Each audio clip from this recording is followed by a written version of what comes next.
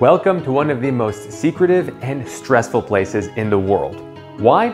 Because even if you've been here before, in the most stressful and scary moments of your life, you probably don't even remember it. One of the big things that patients ask me about is why do they wake up delirious or hysterical or really emotional after anesthesia? Have you ever heard of anyone waking up crying or maybe cussing or screaming or maybe even trying to hit their doctors when they wake up from surgery? I'll tell you, I've seen it many, many times. The number of times I've had to, you know, move out of the way because the patient's trying to hit me or the surgeon or the nurses is a lot more than I'd like to admit. But why does this happen to patients is one of the things we're going to talk about because it just shows how powerful your mindset before surgery and your mental health before surgery is to how you tolerate anesthesia and how comfortably and safely you wake up. I'm outside in nature today out here at Bernal Heights in San Francisco, California, just as a reminder of how powerful nature can be in helping us tap into our inner healing potential.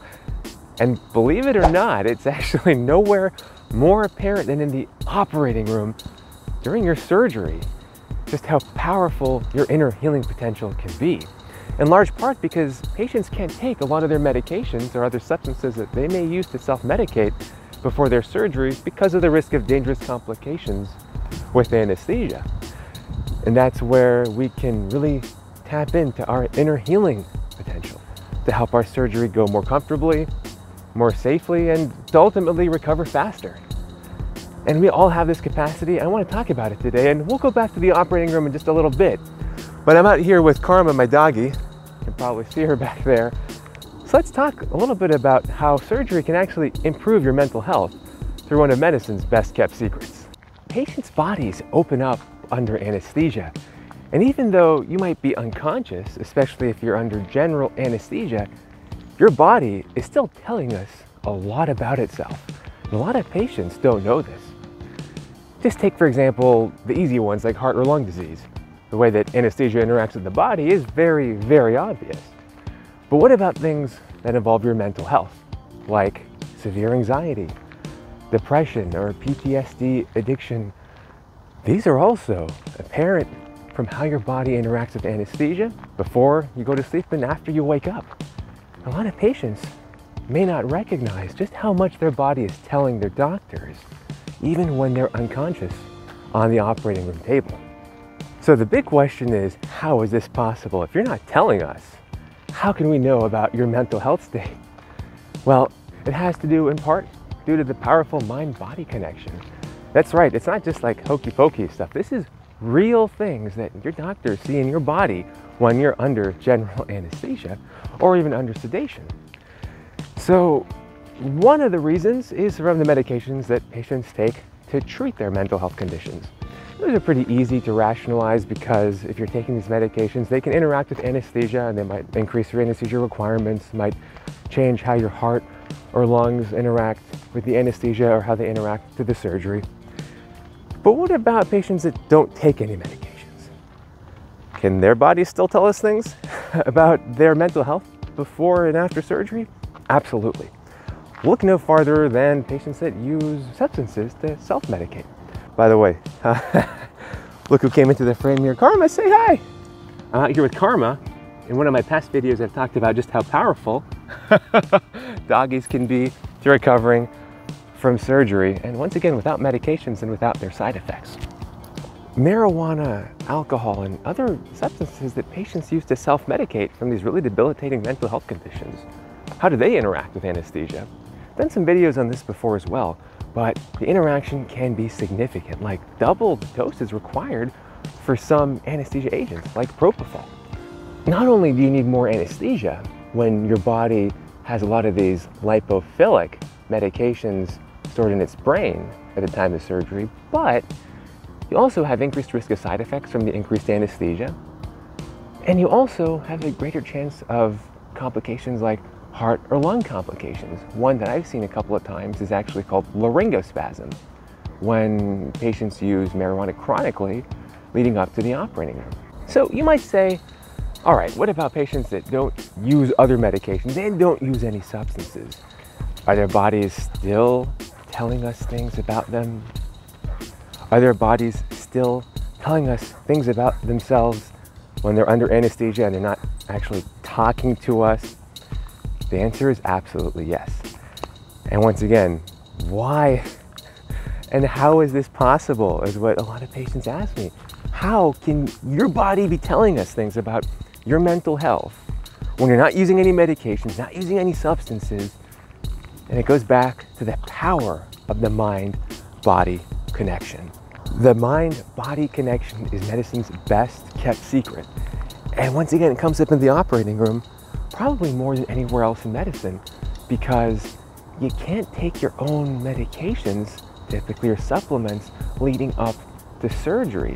Things like those powerful medications like Xanax, the substances like marijuana that some patients use, you can't use these before surgery, or if you do, there's greater risks associated with the anesthesia and surgery.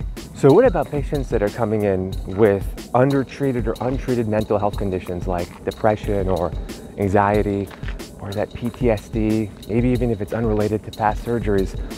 Well, you can bet that they may have higher anesthesia requirements for some medications, some of the anesthesia gases, some of the IV agents like propofol.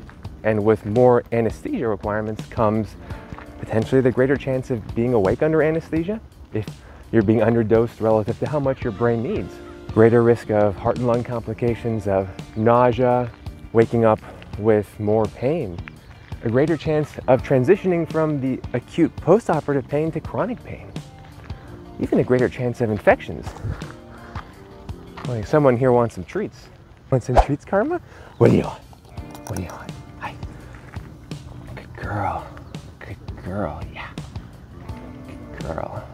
There's also a greater risk of patients waking up more emotional afterwards with more delirium, maybe waking up cussing or screaming or crying or swiping.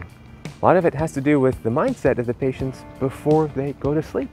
The more anxious, the more stressed, the more fearful, the more likely they are to wake up with similar emotions that are then intensified by the disinhibiting effects of the anesthesia. And now, a lot of this might make you think, well, you know what, doc? Ignorance is a bliss. I don't want to know about all these complications. And that wouldn't be doing you the right thing. Because what a lot of patients don't know about is how much power they have over their health to control all these outcomes that we're talking about, even when they can't use prescription medications or substances before their surgery. So let's go back into the operating room to talk about not only how you can have a safer surgery experience, but also actually use surgery to tap into your inner healing potential and to heal a lot of the mental health conditions that we're talking about, potentially naturally, and maybe for the rest of your life. So you may have never heard this before, and it's because it's one of medicine's most guarded secrets.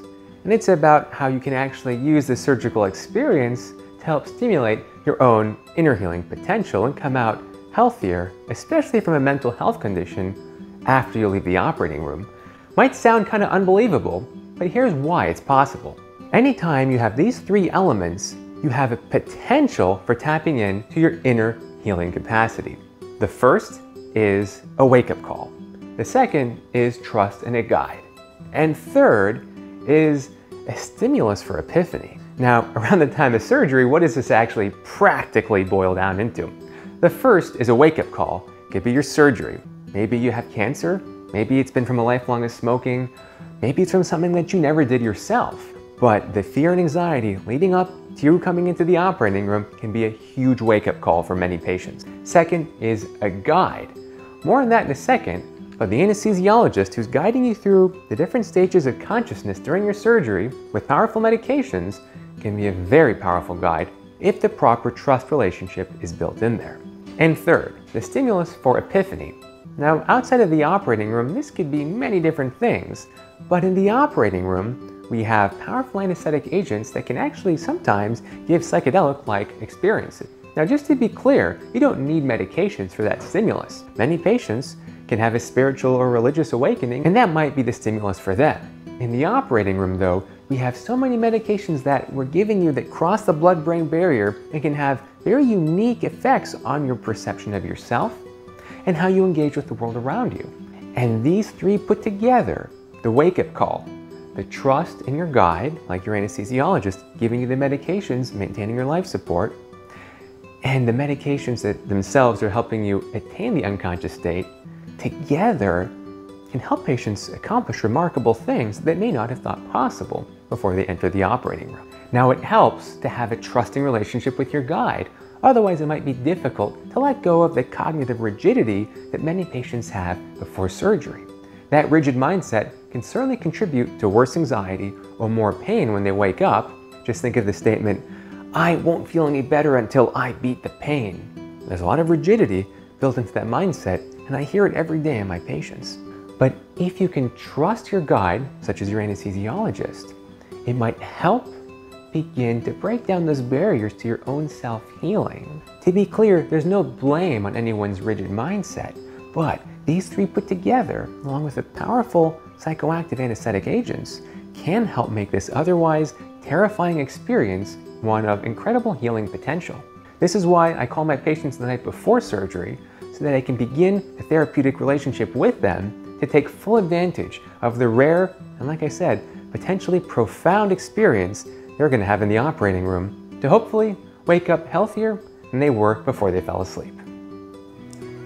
Thanks for watching. I hope you learned something. If you did, be sure to follow and share with your loved ones. And leave comments below and let me know what other secrets you want to know about the human body so that you can control your inner healing potential.